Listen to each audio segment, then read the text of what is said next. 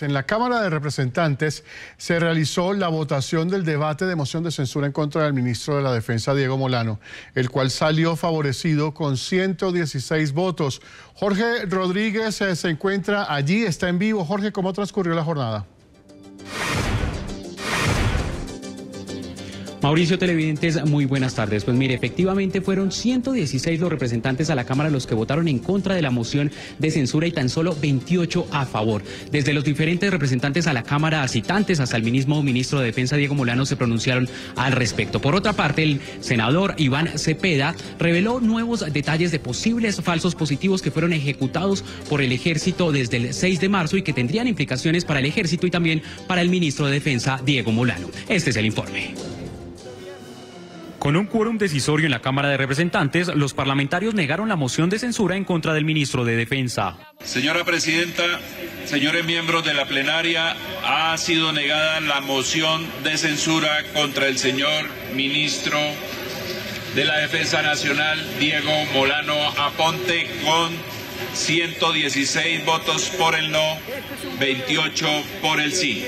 Los representantes citantes al debate expresaron su indignación ante la decisión de las mayorías luego de presentar argumentos de peso en su contra. A pesar de los testimonios de las víctimas que realmente fueron desgarradores, a pesar de la argumentación presentada, de los videos, del trabajo inmenso que hicieron los medios de comunicación para también para denunciar este hecho y que permitió precisamente que se pudiese convocar esta moción de censura. Finalmente eh, no valieron los argumentos. Hoy el ministro decía hace un tiempo que eran 11 disidentes, hoy dice que solamente responde por dos de los disidentes y que el resto lo determine la fiscalía.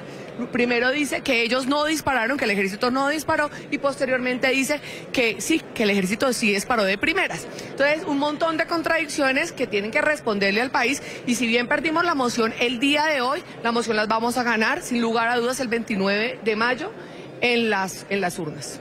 Al culminar la votación, el ministro de Defensa ratificó la legitimidad del operativo militar. Todos los días exigimos a nuestra fuerza pública el cumplimiento de todos sus operativos con estricto apego a los derechos humanos, al derecho internacional humanitario, como se hizo en esta operación y como se hace en todas las operaciones de nuestro Ejército Nacional, de toda la fuerza pública.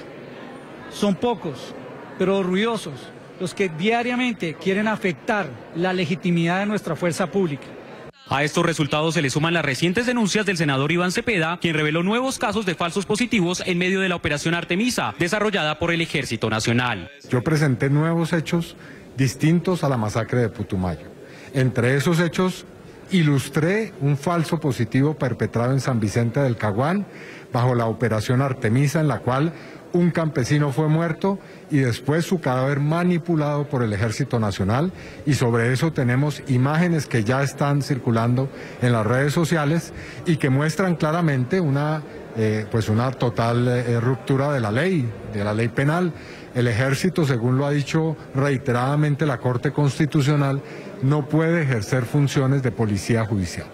Se espera que en las próximas semanas se adelante un nuevo debate de control político en el Senado de la República y el inicio de posibles procesos jurídicos en contra del ministro. Mauricio, cabe la pena mencionar que fueron en total 144 representantes a la Cámara los que participaron en esta votación. Algunos se abstuvieron. Ahora lo que viene, según el senador Iván Cepeda y el senador Antonio Sanguino, es que van a preparar algunos alegatos a nivel jurídico en contra del ejército. También los representantes a la Cámara citantes a este debate piden garantías de seguridad para las víctimas del Putumayo luego de realizada esta votación de la moción de censura.